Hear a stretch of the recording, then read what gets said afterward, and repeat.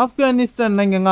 ကဘူးမြို့မှာရှိတဲ့စစ်တပ်နန်းကျောင်းကိုစောင့်ကြပ်နေတဲ့အာဖဂန်တပ်ဖွဲ့တွေကိုလက်နက်ကင်အဖွဲ့တွေတင်းနှင်းလာနေကတိုက်ခိုက်ခဲ့တာကြောင့်အနည်းဆုံးအာဖဂန်တပ်သား2ဦးသေဆုံးပြီး10ဦးဒဏ်ရာရရှိခဲ့တယ်လို့တာဝန်ရှိသူတွေကပြောကြားခဲ့ပါတယ်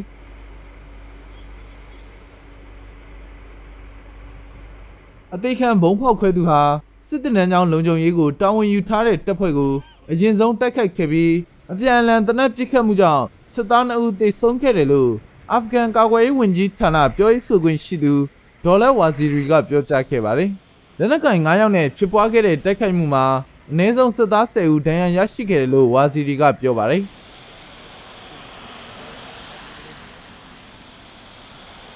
ကျွန်တော်တို့ရောက်လာတော့အင်အားသုံးပြီးရန်သူတွေကိုအနိုင်ယူချေမှုန်းနိုင်ခဲ့ပါတယ်။လက်နက်တွေကိုတိုက်စီးခဲ့ပြီးဒဏ်ရာရသူတွေနဲ့ ကြဆုံးသူတွေကိုနေရာပြောင်းရွှေ့ခဲ့ပါတယ်။